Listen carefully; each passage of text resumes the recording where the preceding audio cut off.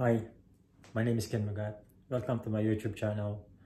Um, today, ang pag-uusapan natin ay itong salitang courage. itong courage nito, malaki ang may tutulong sa inyo sa araw-araw. I-apply lang ninyo ito, ang ituturo ko sa inyo, at magiging maayos ang pamumuhay ninyo. Hindi kayo matatakot kahit kanino. Alam ko, ibang-iba na ang panahon ngayon. So, i-apply lang ninyo kung ano ituturo ko sa inyo. Uh, by the way, uh, kung hindi pa kayo nagsasubscribe subscribe sa YouTube channel ko, just click the the button and click the notifications bell as well para lagi kayong updated sa channel ko. By the way, gaya na sinabi ko, pag-usapan natin ngayon ang salitang courage. Alam niyo, uh, meron akong kikwento sa inyo. Uh, ito, itong last year lang before ng COVID, uh, nasa Manila ako. Uh, siguro nasa na, mga bandang mid-March, uh, nagkasakit ako. Kasama ko ang girlfriend ko. Uh, nasa Manila kami. One day, uh, sa umaga, pagising ko, umiikot, pagbangon ko, umiikot yung paningin ko. Hindi ko alam kung anong nangyayari na sa akin akala ko kung ano, ano na, akala ko uh, meron na akong nawa na ako ng COVID. Tapos, uh, dahil uso yung COVID, tapos iba na yung ano, iba talaga yung nararam, nararamdaman ko. Nagkalagnat ako, tapos medyo, uh, medyo talagang, talagang iniingal yung ano ko, yung, yung dibdib ko. Tapos, hindi ako makahinga. Tapos uh, talagang takot na takot ako pumunta sa hospital noon dahil nga yung dahil nga sa COVID. Baka baka alam mo naman sa atin kahit kahit na kahit na kahit na may sakit ka tapos during COVID pa baka i-suspect nila ako na may COVID ako. Baka i-isolate nila ako pag na pag lumapit ako sa hospital. anyway, ang ginawa ko, uh, dahil may background ako sa, med sa medical, ang ginawa ko, uh, nag-relax lang ako. Tapos, nag-focus lang ako sa mga sa kapal kapaligiran natin na hindi ako nagpanic. Tapos, yung girlfriend ko, tinutulungan niya ako na na sabi niya sabi niya sa akin na wag magpanic. Tapos uh, lagi akong focus sa mga kilos ko. Hindi ako nagpapanik. Tapos, uh, nasa Manila ako, uh, talagang worried na worried ako. Tapos yung meron akong flight na, yung flight ko sa March, March 21. Nasa Metro Manila na ako noon. Lumabas kami ng, ng Manila. Nasa Mindoro kami. Tapos, dahil nga mag-start ng lockdown na noon eh, So, pumasok kami ng Metro Manila. so, dalawa lang kami ng girlfriend ko sa Quezon City. Napakahirap ng dinalas namin. Hindi lang yon Nung, nung lumipad na ako, nung nasa, nasa, sa Ninoy Aquino na ako, March 21, yung flight ko, ang daming tao na ano na stranded. Na stranded kami doon mga siguro ng mga 16 hours sa Ninoy Aquino. Tapos naghintay kami ng flight namin. Ang daming mga na, uh, na-stranded sa Ninoy Aquino. May mga nakasabay ko yung mga uh, nurses sa, sa ibang bansa, sa New Zealand, sa sa uh, Australia.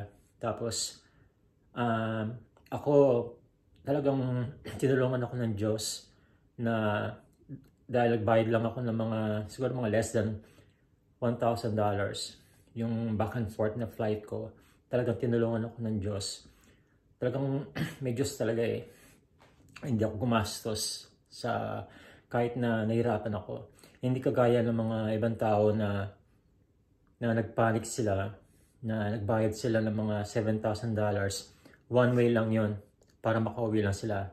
Imagine $7,000, one flight lang yon anyway, So nandun kami sa Ninoy Aquino, Ninoy Aquino, naghintay kami ng mga flight namin, 16 hours.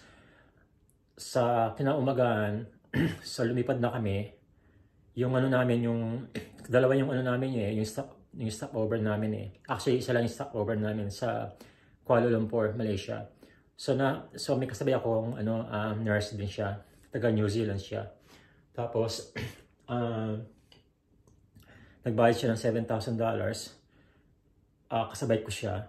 Tapos uh, stop over kami sa Malaysia, Kuala Lumpur na naghintay, naghintay kami doon ng mga 20 hours sa Kuala Lumpur um, airport.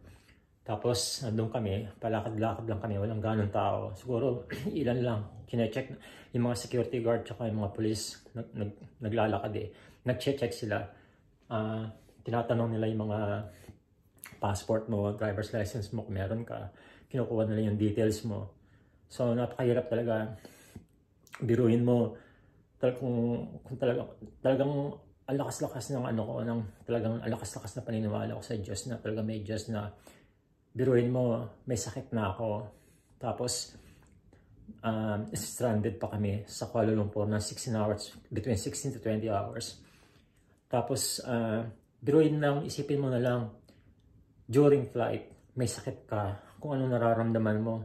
Kung talagang nagpanik ka nun, magkakos ka ng, ng emergency, emergency, emergency landed sa ibang, sa ibang bansa. Kung ano, kung talagang magpa, magpapanik ka na, dahil nga, ang nararamdaman ko noon, talagang umiikot na yung paningin ko. So, ang ginawa ko talagang, dahil nga sabi ko, gaya ng sabi ko, meron akong background sa medical, nag-relax lang ako, hindi ako nagpanic. Talagang nag-ano lang ako, uh, focus lang ako. Kung ano lang yung ginagawa ko, gano'n lang. So, um, so anyway, walang nangyaring masama. Naglaan kami sa Kuala Lumpur uh, siguro sa mga ng umaga, so, nagintay kami doon ng mga 16 hours sa Kuala Lumpur. Sa hawa naman ng Diyos, nakabalik kami sa, uh, yung kasama ko nakabalik siya sa New Zealand, ako nakabalik ako sa Australia. Pero, meron pa rin ako narar- nararamdaman pagdating ko dito sa bahay. At na, may ikot pa rin yung paningin ko. Tapos, pagdating ko dito, um, dahil bawal bawal magpatingin sa doktor. Hindi sila tumitingin ng pasyente ng ng ano ng ng harap-harapan. Kailangan by phone lang kasi nga during COVID dito, napakahirap talaga ng dinanas ko. Pero ang lakas pa rin ng paniniwala ko sa Diyos. Kaya itong itong salitang courage na to, i-apply lang ninyo sa buhay ninyo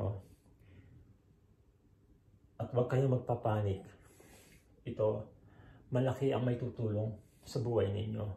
Huwag kayong magpapanik. Never kayong magpapanik. Kahit saan kayo pumunta, uh, lalo na ngayon, uh, ang hirap-hirap ng buhay dahil nga sa during COVID. Basta, ang gawin lang ninyo, araw-araw, maniwala kayo sa Diyos. Malakas ang paniniwala nyo sa Diyos.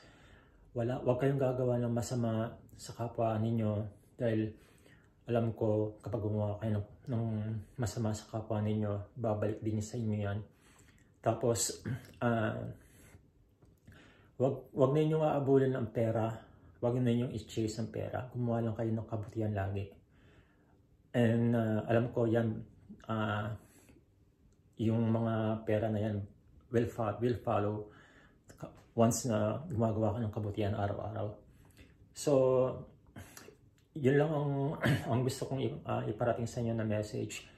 Uh, yung mga experience na nangyari sa akin itong 2020, uh, talagang napakasakit at uh, marami akong natutunan. Tsaka, itong courage na to, hindi ko to makakalimutan. At uh, sa araw-araw na na araw na dumarating, ina-apply ko ito lagi ako nagpo-focus sa ginagawa ko. Lagi kong pinapakiramdaman ang kapaligiran ko. Kung ano man tol, kagaya, alimbawa, kagaya nito, ito lang, isipin ninyo to kung anong ginagawa ninyo. Yan, yan. Pakiramdaman ninyo ang, ang kapaligiran ninyo. Ang, ang lahat ng mga nakapaligid sa inyo, huwag kayong mag-iisip ng ano-ano para hindi kayo nag, nag, ano, nag uh, para hindi kayo napapahamak sa buhay ninyo. Huwag kayong matatakot sa ibang tao. Basta focus lang kayo lagi. Ilang ang advice na may bibigay ko sa inyo. Alam ko, ang mga kaibigan ko, karamihan ng mga friends ko dito, uh, taga, naga, uh, nagtatrabaho sa ibang, sa ibang bansa. Kaya gusto kong i-share sa inyo yung experience na na naranasan ko before ng before ng COVID at yung nararanasan ko sa araw-araw na dumarating sa akin. At uh, napakaganda na dumarating sa akin dahil nga ganitong ginagawa ko. Lagi akong focus. Hindi ako natatakot sa sa hindi ako wala akong takot talaga dahil nga dahil nga lagi akong lagi akong focus sa ginagawa ko um, Huwag kayo matatakot. Basta i-apply lang ninyo yung ituturo ko sa inyo. Okay. Uh, so, hopefully, meron kayong natutunan sa akin na kapag, at uh, lagi pa nga pala kayo magdadasal at uh, wag, kayong, wag na wag kayong gagawa ng masama sa kapwa ninyo. Wag kayong mag-iisip din ng masama sa kapwa ninyo. Kasi once na once na nas, nakasanayan ninyo na mag-isip ng masama sa kapwa ninyo, tuloy-tuloy na yan. Basta gumawa lang kayo ng kabutihan sa kapwa ninyo. At yung iba will, will follow. Okay? Uh, sana marami kayong natutunan sa sinasabi ko. At pasensya na kayo, medyo bago lang ako sa channel kong ito. Uh, I'm pretty sure masasanay din ako sa mga content ko na i-release in the future.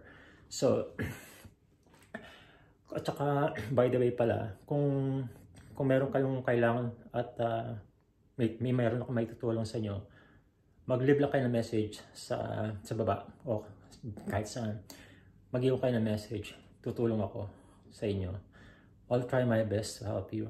Okay? Thank you.